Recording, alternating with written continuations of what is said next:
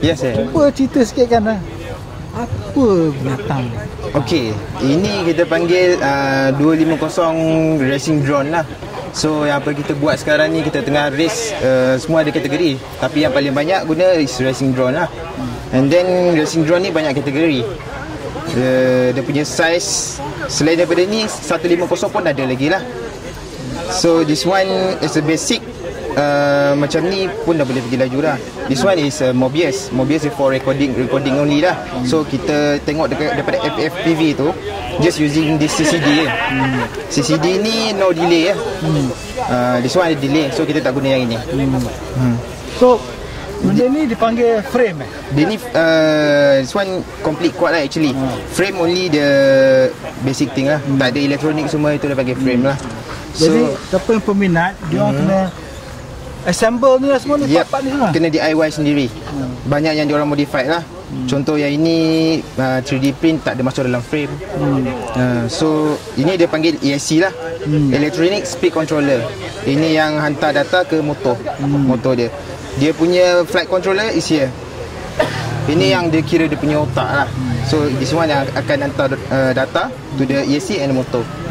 So dia punya speed depend on the spec of the quad. Okay kalau lagi tinggi dia punya spek ni lagi laju lah kuat dia. Hmm. ada ada antena ni tak apa? Ok antena ni untuk kita punya VTX this one is video transmitter. Video transmitter ni dia ada milliwatt dia lah. Lagi tinggi milliwatt dia lagi jauh kita boleh pergi So this one dia antena. Antena pun ada dia punya spek. Hmm. So this one is basic spec. Untuk main uh, park flyer is okay lah. Hmm. Hmm. Jadi okay. So ini kamera ni untuk recording lah. Ya yeah, untuk recording. And then kamera bawah ni untuk CCD punya... direct to the Google. Ah, this one is the Google. Google pun banyak jenis juga. So yang ni kita panggil Boscam Google hmm. 5.8 basic dia. So dia punya Google pun ada channel-channel sendiri 5.8, 1.3, 2.4 pun boleh juga hmm. Tapi depend on the uh, base dalam ni lah hmm. Yang ini biasa 5.8, ramai orang guna 5.8 lah hmm. Hmm. So macam, macam, macam ni kan eh uh-huh. Dia set up uh-huh. Dia berapa laju dia boleh pergi dan berapa jauh lah Tapi kejauhan tu bukan, bukan mustahak ha, Bukan, ha, bukan okay. betul Depend on the skill hmm. Dia punya teknik Kalau kita tengok sini ada A-gate ni Dia lagi, lagi lincah kita punya jari Lagi tepat lah kita punya Kita punya skill flying hmm.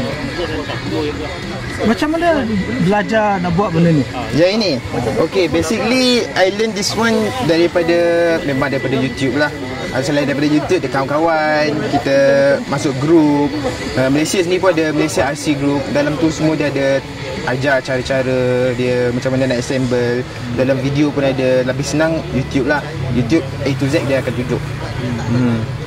Jadi macam ni dengan uh, drone ni dengan hmm. goggle ni dengan hmm. controller tu kan hmm. berapa ribu investment? Actually this one kita beli asing-asing. Hmm. So kalau high spec boleh cecah dalam 3 4 ribu juga. Hmm. Uh, tapi kalau basic boleh dalam 1500 pun boleh 1500 pun boleh juga itu cukup untuk racing lah ya cukup untuk racing untuk beginner 1500 is perfect lah hmm. tapi this one I think uh, high spec juga lah hmm. depend on the brand and the spec the spec of the motor semua lah hmm. this, one, this one flight controller ni semua sama lah hmm. normally kita pakai LACE 32 hmm. CC3D uh, speed racing uh, itulah lebih kurang dia punya ni jadi kalau nak buat ni kan kita hmm. perlu technical knowledge tak? Yes.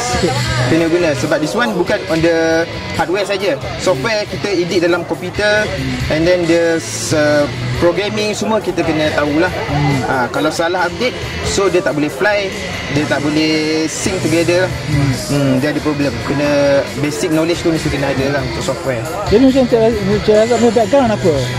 Saya punya background actually komputer. So because you punya background komputer tu, yeah. you you faham yeah, lah pun boleh, ni. boleh faham lah. Hmm. Uh, basic boleh faham lah untuk setting. When kita fly, kita tak boleh dapat perfect setting masa kita terus pasang. So kita kena fly, kita kena test error and error, test and error. So daripada situ kita boleh improve kita punya flight skill and the stabilize stability of the quad lah. Hmm. Uh, saya rasa menggalakkan tak budak-budak muda-muda dalam uh, dalam teenage tu yeah. um, memasuki hobi ni?